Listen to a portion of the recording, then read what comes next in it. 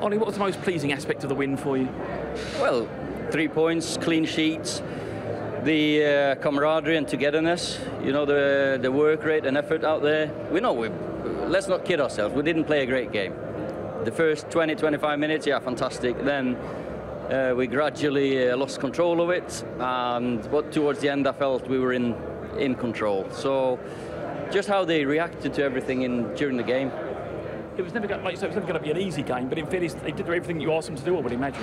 Yeah, definitely. And uh, today was probably the first time we've uh, this season, apart from spells against Chelsea, that we've had to defend as a team for for longer periods, and that's it's pleasing that we. Uh, get a clean sheet. David, obviously, a couple of uh, very good saves. The first 20 minutes in this game was just uh, uh, fantastic to watch from a, from a neutral uh, perspective. Do you breathe an extra sigh of relief when the penalty goes in? I think he did, yeah. Uh, he's been practicing penalties, and uh, you know, everyone can miss a penalty. I've seen Maradona, I've seen uh, Messi, all them, uh, the best ones miss penalties. Uh, and he was calm, and uh, he just wanted that penalty to come his way. Clean sheet, you must be delighted with. Of course, uh, people are talking about our clean sheets and the lack of clean sheets.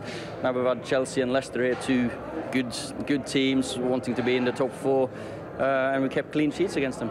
It's a young squad in a young team. Are they starting to play the way you want them to play? I think so. They got energy. They got, you know, this uh, this stadium. They love effort and attitude and energy, and you got that. You see the when we got a penalty today, it's not the greatest of passes. Andreas makes the most of it. He, he wins a tackle inside the box, and then uh, Marcus just sprints and gets just in front of him. So, that, so that, our fans love that. A word on Harry Maguire up against his former side. Yeah, didn't didn't look like he uh, he missed them too much. He did really well. Uh, stuck his head in, won a few headers, and he, he's so calm on the ball for us, which we needed second half because we didn't keep the ball as well as we could. But sometimes when he just stands on it and calms everyone down, it helps us.